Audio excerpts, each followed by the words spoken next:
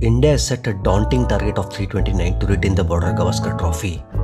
At the Gaba, on the fifth day, against the best bowling attack in the world. The fortress Gaba, where Australia have not lost since 1988. The odds were completely staggered against the inexperienced visiting team, ravaged by injuries. A team featuring two debutants and a batting lineup with only three players with experience of more than 20 test matches. That is Rohit Sharma, Cheteshwar Pujara, and the captain himself, Ajinkya Rahane. The loss of Rohit Sharma in the ninth over put India immediately on the back foot. In walks the man who had done it in the past, a man who had faced 1258 deliveries in the 2018 tour of Australia, the most by an Indian batsman on a tour to Australia. A batsman who had to listen to his captain's criticism following the Test series loss against New Zealand, when Virat Kohli reckoned that a cautious approach while batting away from home would prevent the batsman from playing his shots. Virat Kohli summarized this philosophy as showing intent.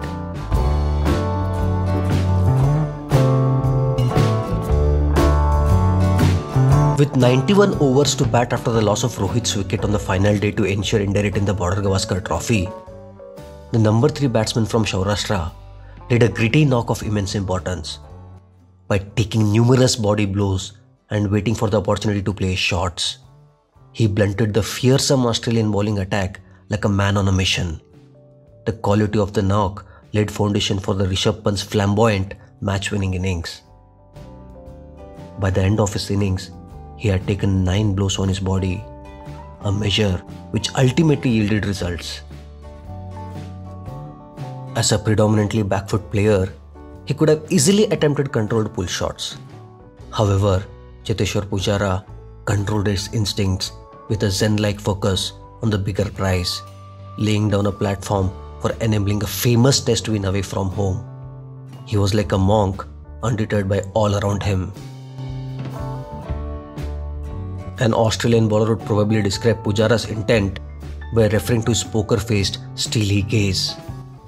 The top order batsman did not even allow Nathan Lyon to settle down. The wily off spinner playing his 100th test match was probably Australia's best bet on a fifth day pitch. This intent allowed the young Turks Pant and Washington Sundar to capitalize on a golden opportunity to make history. As a batsman, Virat Kohli likes to take the game to the opposition. However, intent in test matches away from home is not necessarily one featuring flamboyance and aggression. Not every batsman has to follow the path taken by the best batsman in the team. Ultimately, test matches away from home demand that your batsman to score runs, which eventually allows your bowlers to take 20 wickets and win the game. Since Kohli took over the reins of Indian Test team as captain, India have won 6 Test series away from home, 2 each against Australia, Sri Lanka and West Indies. In 4 of these 6 series victories, Cheteshwar Pujara had a big part to play. The series win against Sri Lanka in 2015, the first away test win under Kohli, was powered by Pujara's magnificent 145 not out while opening the batting. India's historic Test series win in Australia in 2018-19 season was also powered by Pujara. He ended the series as the highest run getter with 521 runs and was named player of the series. Pujara also played a big role in the most recent series win. He had faced 928 balls from the best bowling attack in the world thereby allowing his more flamboyant teammates to score runs freely. Therefore, it is time that the larger cricketing community recognizes Pujara's value and his importance in the Indian Test team.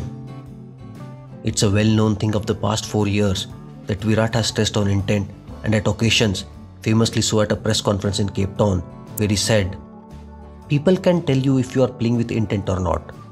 There will be tough moments in the match, but I think even the tough moments one needs to overcome with intent.